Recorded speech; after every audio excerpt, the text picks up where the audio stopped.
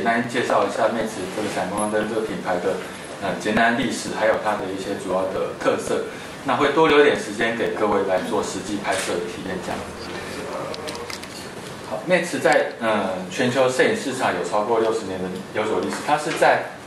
呃一九三八年创立的，那在一九五二年开始制造闪光灯，就是小型的基地闪光灯哦。那直到了这边可以看到一九六八年。推出史上首部自动测距的闪光灯，就是所谓的现在还有这样的这个 A 模式，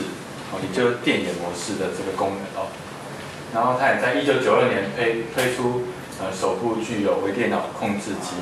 一机幕的呃机体闪光灯。于是直到两年前，它呃在 Protina 上面推出 Mega Studio 这个我们就要介绍这这个摄影棚灯，以及另外一个 Mega Light 这个呃。LED 持续光就是录影用的灯光系统，所以它在两年前发表之后，在直到今年才正式在台湾上市这样。好，然后色温精准，这是魅驰一直以来它的一个一个最有口碑、最有呃特特色的一个地方，就是它的色温的控制，一直从机体闪光灯到我们今天要介绍摄影棚灯都是非常的精准的。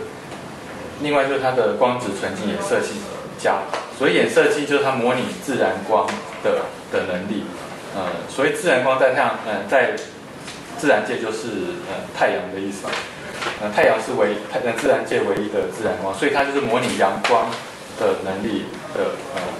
它的衍射性非常好。那这个色温跟衍射性这部分还是要呃各位实际上，因为它没有办法用数字来去把它量化，所以呃这个部分还是要。请各位自己去实际去操作、去感受、去体验，才会知道它的嗯好在哪里。另外就是它是市面上唯一提供摄各式各式摄影呃用的灯光品牌，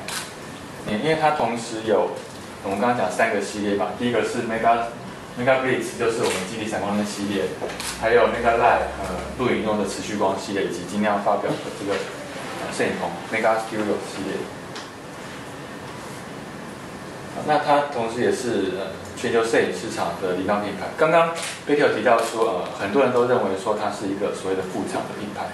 呃，这是因为呃在欧洲跟在我们习惯的日系的品牌是有些呃不太一样的想法。因为像日系，比如说你看，平常他们都是从相机、闪光灯、镜头等等所有配件都是同一家厂商所生产，但是在欧洲他们的思维比较不一样，是像呃。像我们知道莱卡，它就是专门做相机跟呃镜头嘛，然后像蔡司就是主要是做镜头，那我们魅驰就是主要是做闪光灯这个领域，所以他们在分工上会比较比较细一点，也比较专精一点点。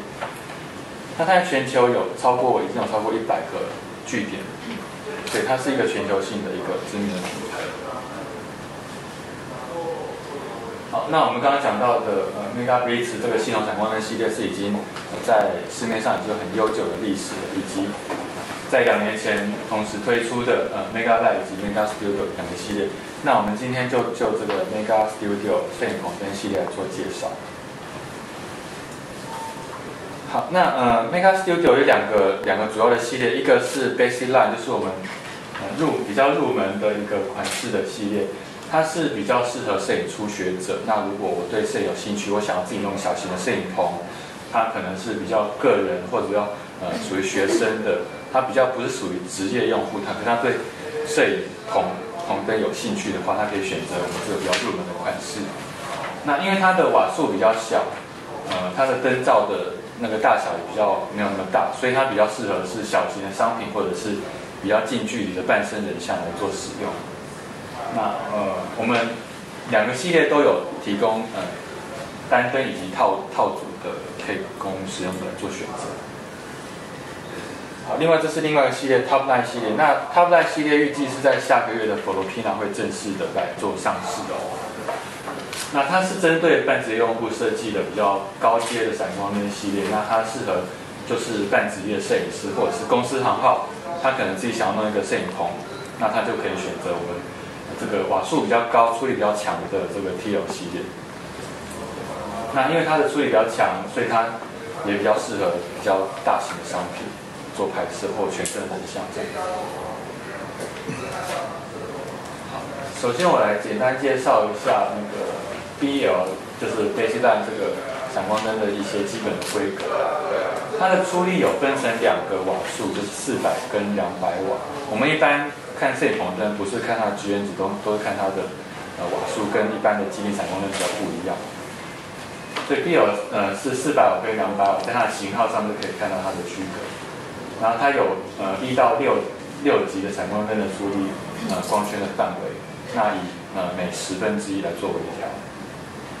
那回电时间当然呃，当然从出力小最弱到最强，它是有一个差别的。那四百瓦是零点五到二点七秒，那两百瓦是零点四到二点零秒。当然最越小的处理，它的回电速度越快。另外，它有 LED 的指示灯及显示屏幕，呃，同时有热档的保护装置。那呃，后面会介绍一下呃它的一些操作界面。这是在 BL 系列它的后面的界面，这是它的光感应器，就是呃同步的地方。另外就是它的一些出力出力调整，还有它的显示出力的显示。然后这边有模拟灯跟光触发的开关。好，那这是侧面的部分。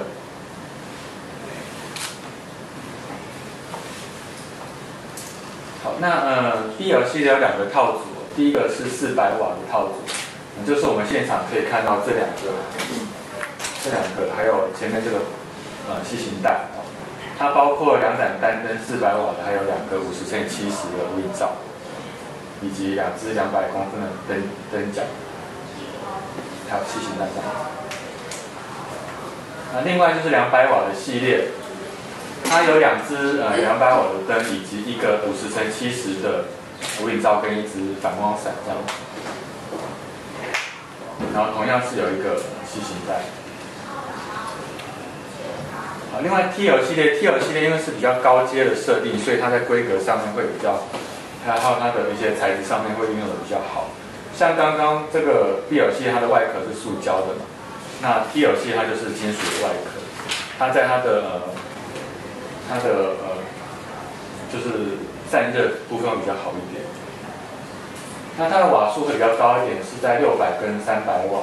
那同样是六极光圈每十分之一做调整。那回电时间是呃六百瓦是零点一到一秒，三百瓦是零点到一点五秒，是比 B L 快很多的，因为它有支援 I G B T 的一个呃高速同步的功能。所以它的闪光持续时间可以高达五千一百二十分之一秒，所以它它在快门同步的话，大概是可以做到一千分之一秒的高速同步。它是一个触控荧幕，就是像我们已经上市的五十二的 megapixel 的闪光灯一样，是用四四呃四个界面来做触控。然后呃，它另外还有一个握把，可以方便你使握这样子。另外就是它有个 USB 接口，在做功能上的更新的时候，是可以利用这个来做人体更新。那是它的侧面，它的呃外壳是金属做，所以它散热上上面比较好。它同样有提供两组的套组，呃是六百瓦的单灯呃两个六百瓦单灯，还有六十乘九十这比较大的无影罩。然后两百四十七公分的灯架两只，以及一个比较呃大的一个拉杆箱。三百瓦的话，它就是单灯部分改成两个三百瓦的单灯，那其他的配件都跟都跟六百的是一样的。